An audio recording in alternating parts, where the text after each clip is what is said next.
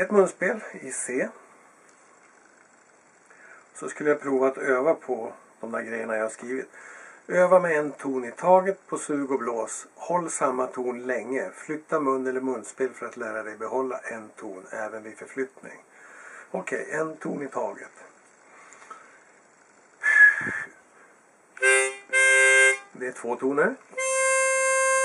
Ah, där blev det en ton.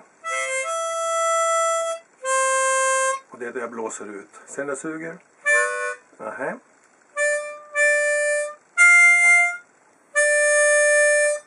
Ja, både blås och sug då.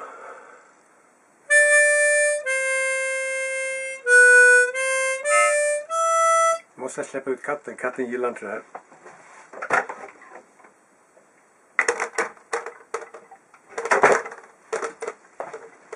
Ja, det var som hastigast på punkt 1. Punkt 2. Forma händerna framför spelet på ett enkelt sätt för dig. Kolla alternativ på Youtube.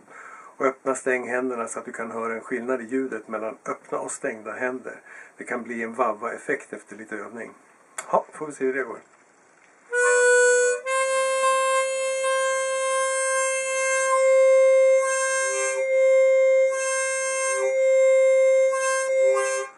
Eller bara sådär.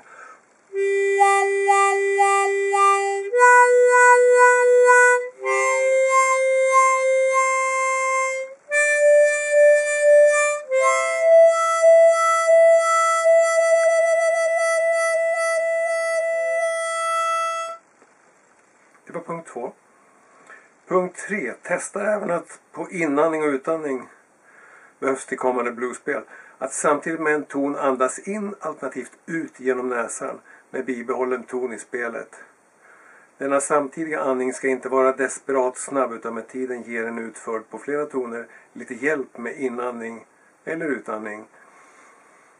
I samband med bluesspel är det ofta skönt att kunna andas ut genom näsan samtidigt som man spelar toner på utandningen. Ska se om jag kan begripa det själv.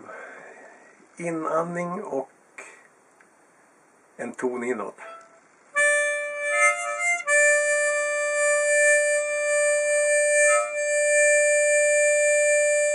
Där andades jag in genom näsan samtidigt som jag andades ut. Men man ska inte hålla på så hela tiden utan bara där det behövs för andningens skull.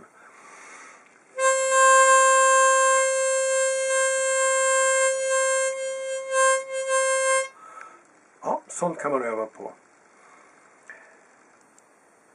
Och i samband med blues så är det vanligt att man får för mycket luft in i lungorna och behöver släppa ut den. Fjärde punkten. Leta och lyssna efter tonerna i Gubben Noak i tonarten C. Tonarten C i ett C-munspel det är då man blåser ut.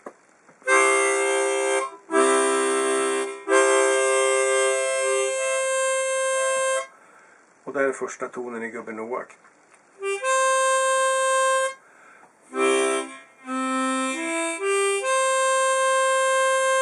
Första tonen i Gubben Noak. Om jag ska hitta så vet jag att det är blås, sug,